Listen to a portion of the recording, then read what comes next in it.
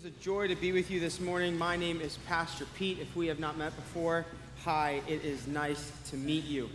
Uh, You know, before we jump into our sermon for today, I just want to take a moment to acknowledge what's going ar- around in our world. And so there's a lot of news going around uh, in our country around this election year, and there's been a lot of division, a lot of hurt, a lot of hate.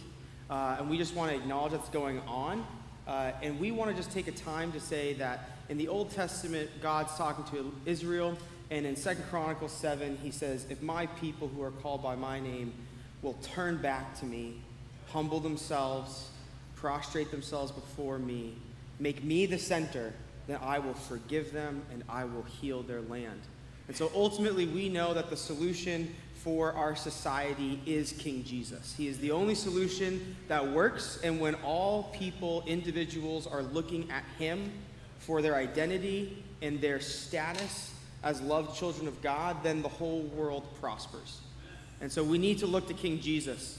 But second of all, the Bible does tell us and instructs the leaders of the church and Timothy to pray for the leaders of the country. And the reason we pray is not for an agenda, but so that we can live peaceable lives. That's the, that's the thrusting heart behind why we're supposed to pray for our leaders. And so I'm going to take a moment right now, uh, and we're going to pray for our leaders, for our country, that we would see more people know King Jesus and we'd see the country led in a way that creates peace for all. Okay, so if you guys want to join in, feel free to raise your hand uh, towards and join in in your, in your heart. Okay, so let's pray. Father God, we come before you and we acknowledge you, acknowledge you as the King and the ruler of all things. You are the sovereign Lord, and your will is done. And Lord, we pray that your kingdom would come in this earth as it's done in heaven. We pray that Jesus would be made more and more of here in our country and in our land, and that we, as your people, the people of your church, the people who call Jesus our Lord and Savior, that we would turn our faces to him and we would tell all the people in our lives, our neighbors, to look to King Jesus. Um, God, we do pray for our leaders. We pray for all the American political leaders. We pray for our state leaders, our city leaders. We pray for our, our the leaders of our country, God. Um, we just pray that ultimately they would be able to lead our country in a way that creates peace for all. They would create an environment where people would feel the freedom to pursue King Jesus and to bring Jesus into their neighborhoods, into their communities, into their families uh, and that we would be able to lead peaceable lives. Um, God, you can do this, and so we pray. We pray to that end. Please help our leaders. Please help us to have peace in our lands. It's in your name we pray. Amen. Amen. Well, hey, church, uh, we are currently in our series, Authentic Faith, where we've been going through the book of Colossians verse by verse. And the whole point of this series is that we could practically look out what it means to follow Jesus in our everyday lives. What does authentic faith with him look like? Even over the last couple weeks, you know, we've been going over some very practical topics like marriage and then parenting. And so today we're going to continue that trend and we're going to tackle another practical topic, and that's going to be the topic of work. And so the question I want to answer today is how does faith in Jesus change how we view our work, uh, including our daily grind? And my hope today is that whoever you are, uh, wherever you work, and whatever type of work you do, that you would leave here today believing that your work is meaningful and has eternal significance and importance. And so I'm, you can never have enough prayer. So I'm going to pray to that end, and then we'll jump into our text for today. So pray with me, church. Uh, Father God, we just pray that you be with us now as we engage uh, your word, God, as we are reading and learning from what you have written down, God. We just pray that your Holy Spirit would be with us right now, that he would encourage us, that he would equip us, that he would allow us to experience you in a way that changes and transforms our heart and changes the way we live and even the way we work. That we would be people who work to your glory uh, and to your uh, kingdom here in this earth, God. And so we love you. Be with us, be for us today. It's in your name we pray, Jesus. Amen. So uh, raise your hands. Who, who knows about Aesop's fables? Who's heard of Aesop's fables, right? Most of you have probably heard of Aesop's fables. You probably know one or two of them. You probably know maybe the tortoise and the hare is the most popular one. Maybe you know about the crow and the pitcher. Aesop's fables, very simply, are stories that have been passed down generationally from a lot of different cultures, and they all kind of contain one primary moral or one primary uh, nugget of wisdom. Uh, and they do it through story form. And so the moral of the tortoise and the hare is slow and steady wins the race, race okay? Uh, there's the kind of these morals.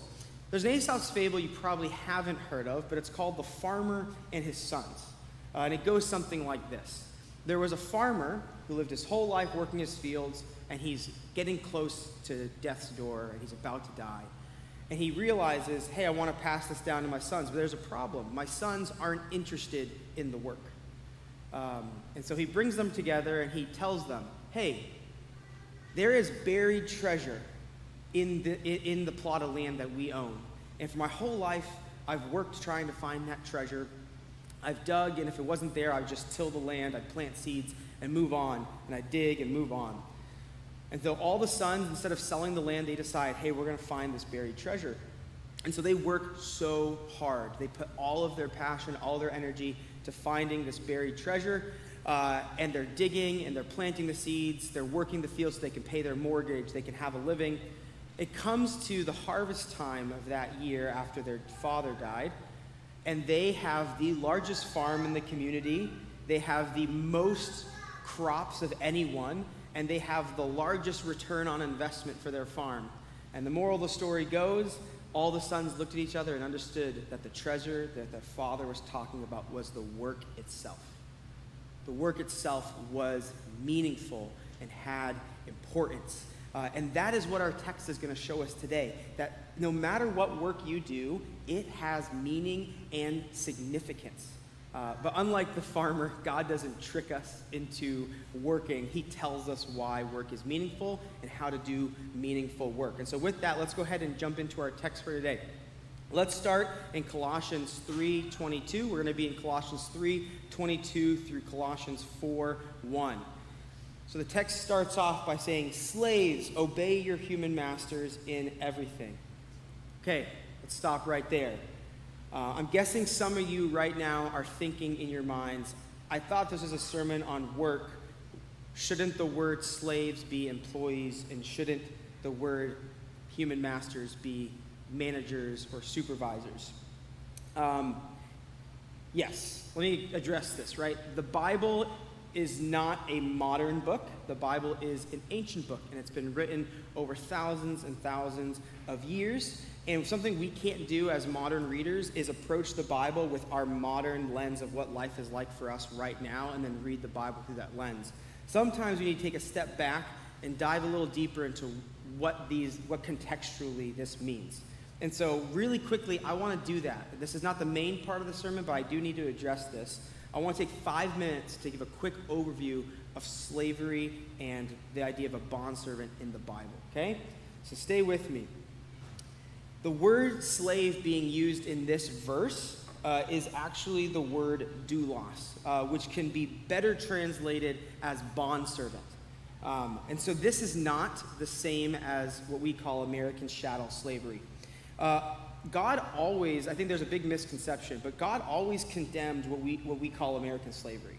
Because in the Old Testament law, uh, what was called human stealing or man stealing was actually a capital crime. And so if you took someone against their will, you were to be put to death. And it literally says if you take someone to work for you, or if you take someone to sell for your own personal gain, you should receive capital punishment. And so, according to the Bible, God has always be, been against what we call American chattel slavery. God hates people being taken against their will and treated as less than. And while certain people did misuse the Bible to justify slavery, the Old Testament laws were always against this form of slavery. And it was these exact verses in the Old Testament that fueled the faith based, Christ centered abolition movement in the West. But in the Old Testament, the reason why this word doulos is still in the scriptures is because there was what we call willing servanthood, or maybe indentured servitude. And this is when someone had a debt that they couldn't pay back, and so they had to pay it off with work in the legal system. And so this is similar to forgetting your wallet uh, when you're eating dinner at a fine dining restaurant and you have to like wash the dishes in order to pay for your meal, except for on a way larger scale, like thousands and thousands of dollars. But you have to work off uh, your debt. Uh, and in this form of slavery and servitude, I do want to say, like, you were not free. Like, you were legally required to stay and to pay off your debt. And so, in this, there was a power dynamic that could go bad. There was someone who had the right over this person to work off the debt. And oftentimes, in ancient civilizations, ancient cultures, indentured slaves were mistreated, poorly treated. They were second class citizens with no rights. Um, and they were uh, not in the best situation socially. But not in Israel. And even in the Old Testament, in these ancient cultures, God cared about the person who was in debt. Uh, he had a heart for those people. And so the Torah in the Old Testament, Deuteronomy, Leviticus, there's all these laws for how you should treat indentured servants. You were not to physically harm them. You were to take care of their daily needs, provide them housing, provide them food. And then lastly, when they like when the, the terms of their agreement came up and you're supposed to free them, you're supposed to free them with provisions. Like you're supposed to send them with provisions so that way they're not just free but with nothing to take care of them. And God cared so much about bond servants that he even instituted a holiday that every 50 years, if you were a slave, you were freed. This was called the year of Jubilee. And so if you owed a debt, no matter how much you owed, the year of Jubilee, you were freed, they celebrated it, and you were freed and sent with provisions. And so we can see God has a heart for freedom and for people being treated well. And we know this even more because then Jesus comes to earth, and Jesus, as God on earth, revealing the heart of God, preached that God's kingdom would be a setting of the captives free. That freedom is a primary message of Jesus' gospel. And so, spiritually speaking, all of us, we were enslaved, is the language the Bible uses, that we were, we had a debt we could not pay. And Jesus, through his work, pays our debt and frees us from captivity or bondage. God's kingdom is more than just spiritual. It changes our hearts we, when, we, when we understand the spiritual reality. And then changed hearts lead to changed lives, which lead to changed societies. And the early church took this gospel very seriously. I want to actually mention in this very church, remember, Colossians is a letter that's written to an actual church, an actual group of people. In this very church, there was a master named Philemon. Uh, and he has a slave called Onesimus. And Onesimus runs away and when he's running away, he meets Paul and he becomes a follower of Jesus. And so, Paul, we know this, writes a book, a letter called Philemon, and he has Onesimus, the runaway slave, bring it back himself to his master who he ran away from. And the whole point of the book is Paul telling Philemon, uh, hey, do the right thing. You should free Onesimus. So that way he, he's already your equal. You should free him so that way he can serve Jesus with me unhindered. And we know from church history, Philemon did free Onesimus. And that experience or that story is not a unique example. Over and over again in the early church, they took the gospel seriously, uh, and they were a gospel that was preached to slaves. And so the Christians started a quiet revolution in Rome. Rome had laws where you could free your slaves. And so the Christians started preaching to slaves hey, you're equal with us. In our, in our community, you're equal. You have the same dignity, value, and worth as everyone else. Uh, you're welcome here into our communities. And then Christians who were masters or who did own indentured slaves were using the legal system and they would free them. And this is well documented. We see over and over again that where God's heart goes, there is freedom and there is people treating each other in light of the love of Jesus Christ and the gospel. And that is a good thing to celebrate. But with all that being said, with all that background about slavery and bond servanthood, we still have to be honest about human beings. There is still hierarchy, okay? Humans, we've always arranged ourselves into these systems and organizations in order to complete tasks together.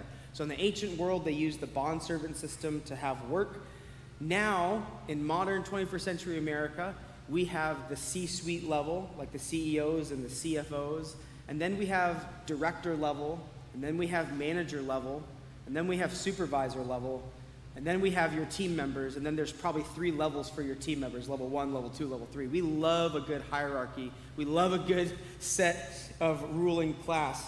And so the closest parallel we can take from this early uh, church like book or this bondservant and master relationship that Paul's speaking about here is general employment. Employee and manager, your career, your job, whatever your work is, is going to be the closest we get to this concept of bondservant or master. And so, yes, we need to realize that there is a cultural difference between ancient world and modern world where we're at now. Uh, there is a difference between being a bondservant in debt and there's a difference between being an employee right now in 21st century America. But we also need to realize that there is deeper biblical principles here that speak to all cultures and all people for all times. And this can teach us something about work. This does give us a principle for work, and that principle is this. The principle is that whatever work you do, you are not working for a human master, a boss, a supervisor. You're not even working for yourself. All the work you do, whatever it is, is for God and unto God. Let me say that again. Whatever work you do, you're not actually working for a human boss, a human supervisor, or even yourself.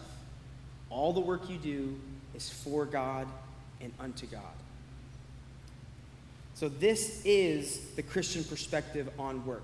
Work matters and it's meaningful because it is done unto God. And God made us to work. Think about it, right? God in the beginning creates or works for six days and then he rests. And the language that he uses that God then creates Adam and Eve in his image to imitate him. And he creates them to work. And so we were always created to work. From the very beginning of the Bible, we were created to work and to work as a form of our worship to God. But we know from history as well that the fall complicates things. Sin and the fall twisted work and creates issues. And so the curse made work harder and harder for us and less enjoyable. And we know that sin affects our heart while we work, and we have sin issues when we go into the workplace.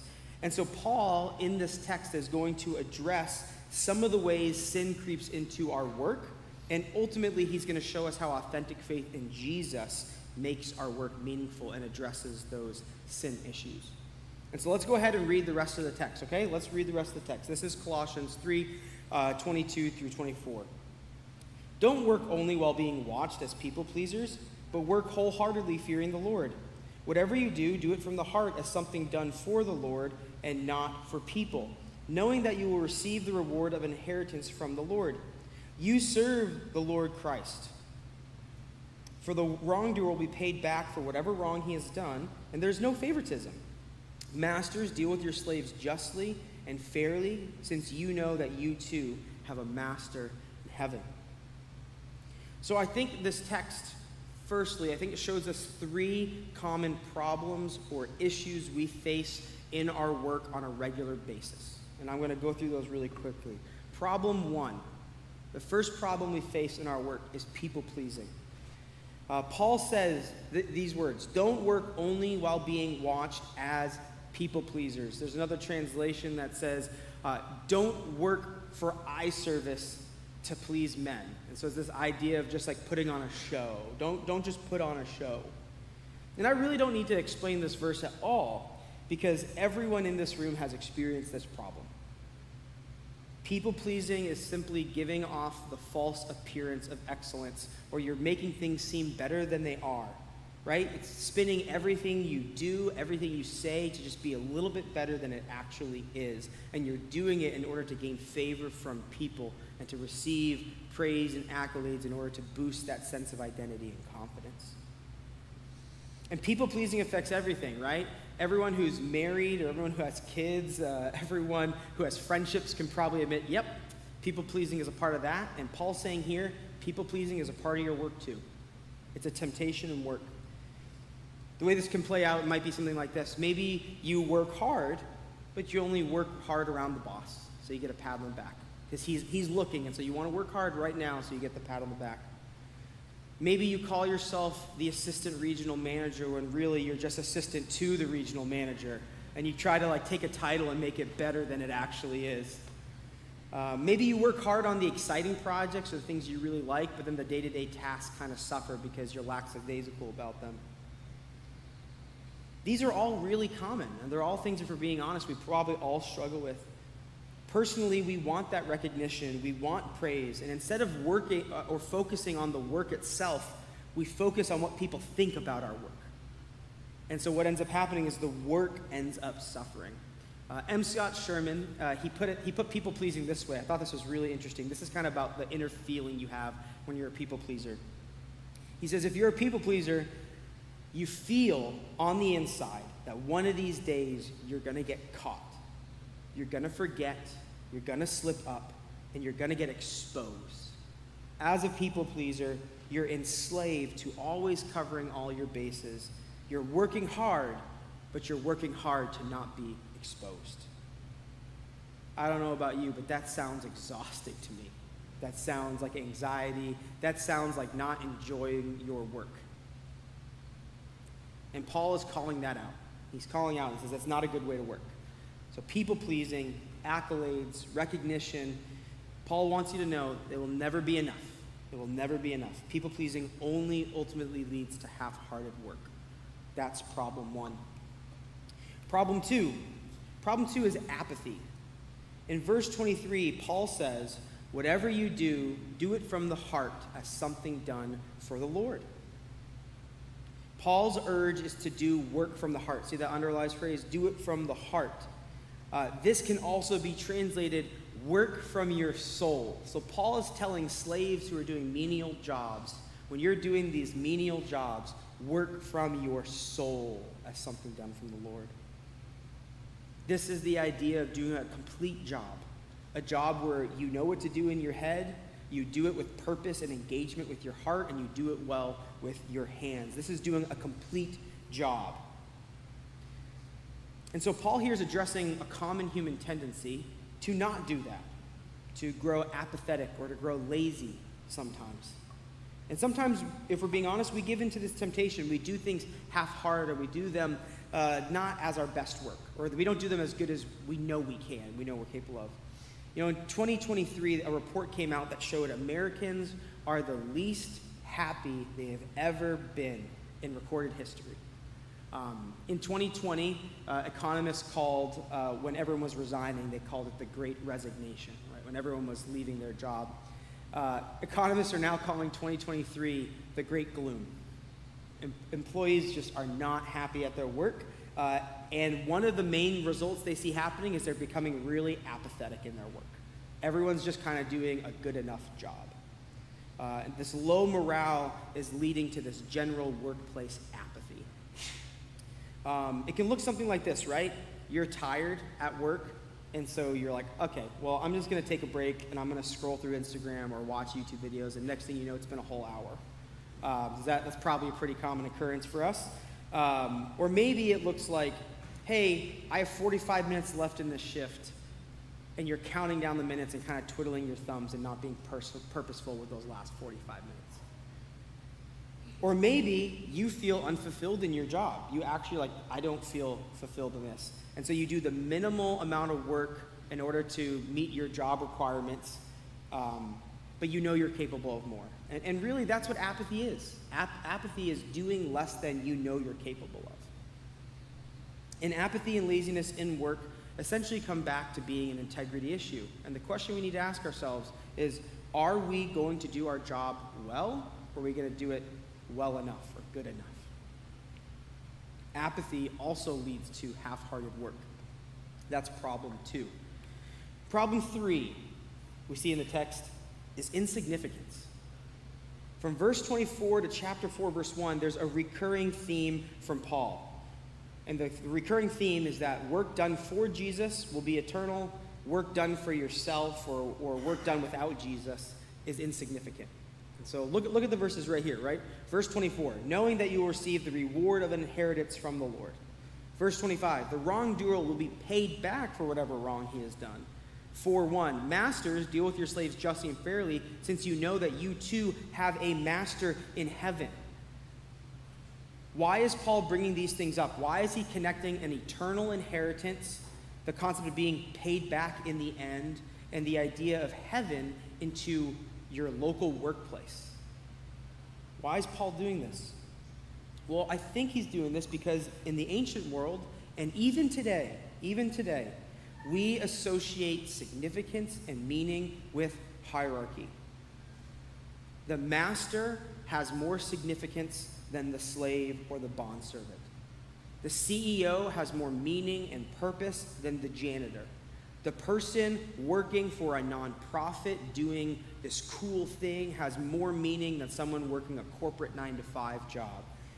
Humans, we naturally believe in our hearts that the lowlier the job or the more unfulfilling a job, the more insignificant it is. And we as humans, we struggle with insignificance. We want to feel like our life matters. We want to feel like we have a unique calling, and if I find that unique calling, I'm going to change the world. That was the millennial, like that's all of us what we were told when we were young. Like, you can change the world. And that's such a heavy weight on our shoulders. Steve Jobs was literally talking about Apple employees, and he made the statement Do you want to know why Apple employees work 18 hours a day? You want to know why they do that? They do that because we employ people or we attract people who want to make a dent in the universe.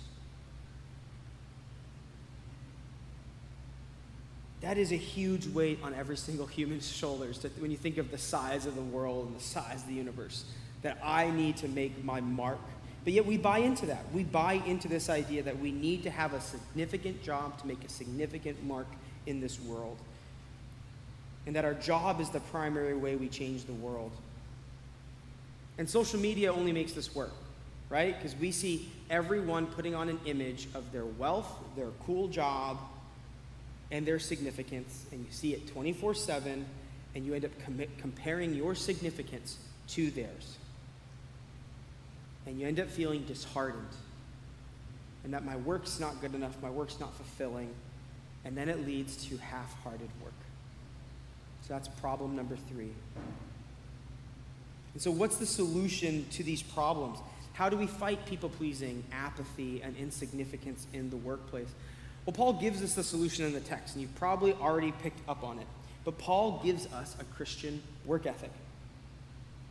And the ethic goes something like this Meaningful work is done for Jesus, it's done like Jesus, and it's done because of Jesus. Let me say that again. Meaningful work is done for Jesus, it's done like Jesus, and it's done because of Jesus. So let's look at the first one. Meaningful work is done for Jesus. You know, some people in the world believe that the answer to people pleasing is to lean into it. That if you have haters, will prove the haters wrong. And the other side of people pleasing is hey, if you are people pleaser, lean into that and chase the accolades, chase the performance, chase the praise you get from your manager. Use both of these in order to fuel yourself to become a better worker. Both of those options will exhaust you. Because here's the deal you're going to be put into a cycle where sometimes you're going to feel really, really good. And other times when you make mistakes and mess up, you're going to feel really, really bad if you get into that cycle. God, on the other hand, says, no, no, no. Meaningful work is done for Jesus. You have, you have a, a different boss. So don't work for people's approval. Don't work for your boss, your manager's approval. Don't work to get pleasure from your personal success. Rather, work wholeheartedly fearing the Lord. And so when you work, realize hey, Jesus, as God, He sees me. He sees my work, He sees the motives of my heart, and He cares about that. He wants me to do a good job for Him. And so, God, Jesus is, is the creator of the universe and he's our savior and lord okay? And so he wants us he created us to play our part in this world to bring human flourishing whatever that is. And so paul wants us to see jesus as our true employer or our true master so to say. And by doing this what paul wants us to do is he wants to realize that work is worship. You can't separate sacred things and secular things with Jesus. Jesus, as your true employee or your true master, means that everything I do in my work is under his dominion. Okay, so I bring Jesus into my workplace because my work is worship. And this has been a consistent theme in all of Paul's writings. Earlier in this chapter, what did Paul say? Whatever you do in word or deed, do all to God's glory. And then what does he say in 1 Corinthians 10? Whatever you do, whether you eat or drink, do all to the glory of God. Over and over again, we see in Scripture that there's no divide with Jesus, there's no divide in the kingdom. Jesus wants all of us, and that means our work. He is our true master. And so, work is supposed to be done as worship, it's supposed to be done for Jesus. Secondly, we see meaningful work is done like Jesus. So, some people believe that the answer to apathy, so to speak, uh, is hey, just keep doing what you're doing. You know, if you're doing the minimal job and your boss is okay with it, and you're getting paid and you're meeting the job requirements, just keep doing that. You know, if you're getting away, working less than you know, like just do that. On the other hand, some people will say, hey, you need, if your job's not fulfilling and you're apathetic about it, you should change jobs and go find another job to be more fulfilled. But both of these solutions are just short term fixes, right? One of them doesn't address the core issue of, of working hard and working with excellence, and the other one might relieve you relieve that feeling of unfulfillment for a, a couple of months, maybe a year, but those feelings will come back. It just creates the cycle again.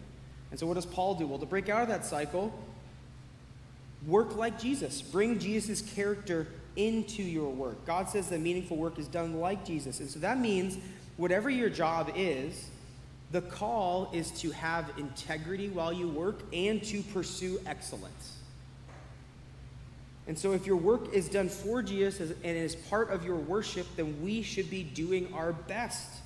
We should be trying hard. And so that means whatever job we have, we should be good at it as a part of our Christian witness. We should be good electricians. We should be good janitors. We should be good healthcare workers. We should be good baristas, good teachers, good engineers, and good lawyers. They say that last one is not possible, but with Jesus, anything is possible, okay? We can be good at the work that we are doing through the power of Jesus. And so, working like Jesus means we take Christ's character and we import it into whatever work we are doing. It means we are honest and we are truth tellers. It means we are just and fair and don't show favoritism. It means that we are engaged workers. It means that we are patient with our coworkers. We are self controlled. We are kind. We are faithful. And we endure. We take the character of Christ and we import it into our work. And we work like Jesus. We work like Jesus. And then lastly, last one meaningful work is done because of Jesus. This is about the heart. You know, some people believe the reason we work is to have meaning or significance. That your work is the primary identity you have in this life. And that the way you get value is by climbing up that ladder, climbing up that corporate ladder and getting to the C suite. It's by starting a successful side hustle that makes you a lot of money, or maybe even finding a job that makes you feel alive on the inside. You know, wanting those things is not bad. Wanting to grow, wanting to be successful, or to have a job that is fulfilling, those are all great. But those things cannot be your primary identity. Your job will never be enough to carry that burden. It will never be enough. And so God tells us that meaningful work is done because of Jesus. The reason work is meaningful is not because the work gives us meaning, significance, and purpose. Jesus, through his gospel, gives us an identity that is unshakable. And so Jesus gives us meaning, significance, and purpose. And when we experience that, when we have faith in Jesus, we have authentic faith in him, we then bring that meaning and significance into our work. And that's the heart motive behind our work. And so this teaches us that any worker of any job has meaning and significance if they have faith in Jesus. And it's when you understand that truth, you will work for Jesus and you will work like Jesus. And the promise that Paul gave us in the text is that if you do that, if you work because of Jesus as your motivation of your heart, you will have an eternal inheritance. You will be building up an eternal treasure. You'll be helping build God's kingdom here on earth if you do that. And so, to summarize, meaningful work is done for Jesus, it's done like Jesus, and lastly, meaningful work is done because of Jesus. And so that means if you are a Starbucks barista working at Starbucks, if you're doing it for Jesus, like Jesus, because of Jesus, Jesus sees that, you matter, and it's, be, it's building up his kingdom. It also means on the flip side, if you are a Starbucks master, so to say, a, a manager, or even the CEO, and if you don't work for Jesus, like Jesus, because of Jesus, your work has no significance. It will fade away with time. The text reminds us, it tells us that there is no favoritism with God. Every person's work matters, and every person's work can have an eternal weight of glory if it's done with faith in Jesus. A job that is not fulfilling can become fulfilling with Jesus. A job with perceived little significance can become eternally significant with Jesus. Jesus really wants to transform how we work. And so, whether you are a team member, whether you are the CEO, whether you are your own boss, whether you are a stay at home mom, Jesus wants every single one of us. And he wants us to work with him in our lives. Now, some of us, some of you may have heard this type of message before. I'm probably not saying anything new. And maybe you believe all the things I've said, but you still have a certain feeling when you go to work. You still feel not good enough. You still feel trapped by your work. You still feel like you need to please people in order to get ahead. And so there's a tension we face between what we know to be true and how we feel. And I can tell you, I've experienced this before. I've experienced this disconnect. You know, before I came to work at the church, I worked for a medical software startup. And so we were doing important work. I was doing something that had value uh, for the medical community. You know, as the company grew, I was getting paid more and more. I owned a percentage of the company for helping start it and build it. Um, things were going well. And at the same time, I was attending gatherings here. I was leading a small group. And I knew in my mind that my primary identity was in Jesus. And yet, for the last like three years of my work there, every, t- every day I went in, I just was a people pleaser. Uh, I, I really cared what my boss thought, but at the same time, I was also apathetic, and I also felt insignificant of like, why am I even doing this job? I'm answering support calls sometime and getting yelled at people over the phone, and I just like do not like what I'm doing at all. And I had this discontentment in my soul. And then I got a, I got a job offer, a job offer from Resurrection Church. And my first thought or my first feeling was relief. I felt relieved. And the reason I felt relief was I was like, now I'm going to be doing work that has significance. Now I'm going to be doing something that matters. Um, and it did, it did relieve that for a while. I'll be honest. Like, it, it felt better. Um, but even with a job I loved, and I still, I love this job. I love that I get the opportunity to work here and be a pastor here. I love it. I still occasionally will experience feelings of insignificance, apathy, and people pleasing. And why is that? And the answer for me is simple. Is it's a heart issue. It's always a hard issue, no matter what your work is. If we functionally look to our work as our primary identity, you will always end up having those feelings of people pleasing, apathy, and insignificance. Which, as a pastor, is especially trippy because you're naturally working towards things that you believe are eternal. But me personally, like I wanted my work to matter. I still want my work to matter so much that I take my eyes off what really matters.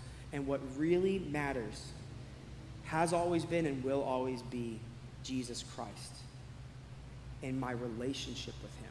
That is the primary thing I need to focus on. And so the more I spend time with Jesus, the more I bring him into my work, the more I talk with God through the power of his Holy Spirit, the more I naturally talk about him. The more I invite the Holy Spirit into my work, the, that's the more energized and the more significant it feels. Because I'm giving it to Jesus and He's making it holy. I can really say that. It's, it's been the only thing that has ever made me feel like my work has significance is just pursuing my personal relationship with Jesus. And that's the message of the scripture is that if we in faith pursue a relationship with God and pursue a relationship with the Son, Jesus, He will take whatever work you are doing, He will take whatever it is, and He will use it for His kingdom and for His good. God takes whatever work we bring and He makes it holy. Because ultimately, work is not about me, work is about Him. It's about giving Him glory. And so God uses everything. Think about it. God created Adam and Eve as gardeners, landscapers, and farmers. God used Noah as a, build, as a builder, a construction worker. God used priests, but then he also used midwives. He used shepherds. He used servants. He used kings. He used cupbearers. He used all these different people for his glory. He used all these different types of people to bring about his kingdom and to bring the Messiah into the world. And then Jesus came as the Messiah. He came in a lowly stable to normal, everyday people, blue collar people. He came to this earth and he worked as an anonymous craftsman and carpenter for the first 30 years of his life. And then the Bible tells us that he was made fun of for that. Like he was mocked for working a tradesman job and then being a rabbi. And then Jesus starts his ministry, and he starts off by saying, I didn't come to be served, I came to serve. Another way of saying that, I didn't come to be worked for, I came to work. And we know from the gospel, Jesus took the lowly job of a slave by washing his own disciples' feet and said, This is not beneath me, I will serve you. And then he asked us as his disciples, Will you do the same? And then Jesus did the work we could never do. Jesus died the death that we deserve. He paid the debt we could never work off, and he rose to completely free us. And now Jesus is in heaven, working now as the master of all, and he sends his spirit to empower us in everything we do, including our daily work. And we get to serve him with joy, not as slaves, but as his friends and as his children. And so, if you accept God's invitation to work for Jesus, like Jesus, because of Jesus in this life, you will receive an eternal inheritance and you will be part in an eternal kingdom where you will worship God with your work perfectly for all eternity, with no feelings of apathy or insignificance, with no trace of people pleasing. You will only experience passion, significance, and delight as you work before the presence of God Almighty. And so here is the heart of the matter your work is meaningful. Whatever you do, no matter what it is, it has eternal significance and meaning if you do it for Jesus, like Jesus, because of Jesus. I think one of our greatest temptations in our current cultural moment is to put our identity and our significance in our work. I've been saying it throughout this whole sermon. Our work is our primary thing that we look to uh, for our identity. And some of the ways this can play out is a stay at home mom asking, Am I enough?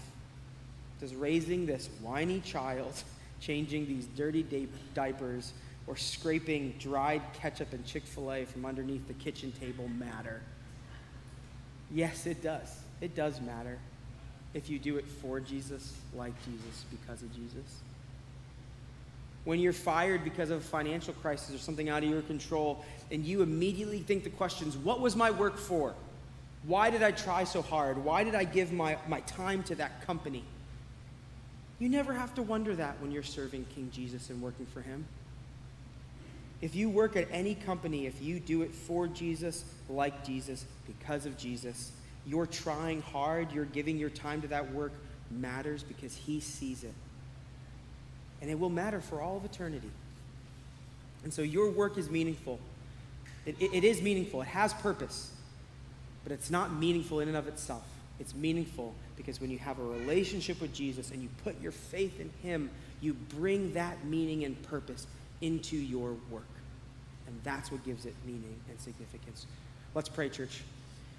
Father God, we come before you and we thank you and we praise you as the creator of all things. God, you worked, you created, you, you worked and then rested. And then you invite us to work with you and for you. You take all of the daily tasks, you take all of our daily activities in work that sometimes seem humdrum and boring, God, and you say, I see you, and that matters. That has purpose, that has significance.